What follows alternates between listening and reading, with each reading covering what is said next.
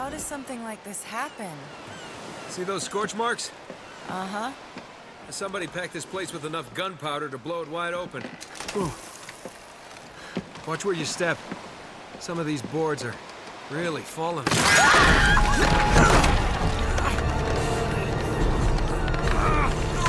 I can't hold on! Give me your other hand! You've got to let it go!